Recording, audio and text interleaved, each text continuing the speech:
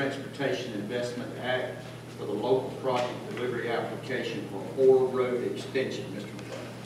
Uh, yes, sir, Orr Road Extension, same thing, we're looking to start preliminary engineering in June of twenty twenty-four. And this will start the process for allowing local government to, uh, handle, manage the project. Any questions for Mr. McLeod? Here.